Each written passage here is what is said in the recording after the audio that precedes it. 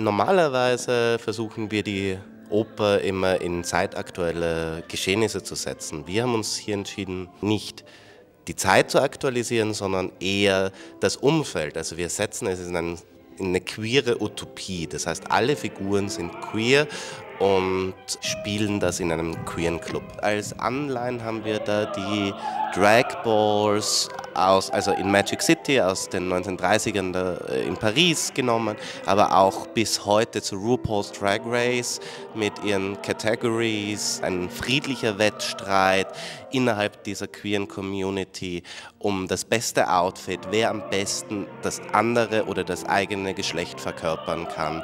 Für uns war es auch wichtig, das in eine Zeit zu verlegen, die nicht die jetzige ist, sondern in der Vergangenheit, weil es in dem Stück auch sehr viel um Melancholie, um, das, um die bessere alte Zeit geht. Und deswegen haben auch wir das in eine Zeit von quasi vor 40 Jahren in die späten 80er, frühen 1990er Jahre verlegt und schauen auch mit Perspektive auf diese queere Community, auf, auf eine Welt zurück, auf eine Generation, die etwas erkämpft hat, was heute für uns selbstverständlich ist und wollten quasi das auch ein bisschen in den Vordergrund rücken.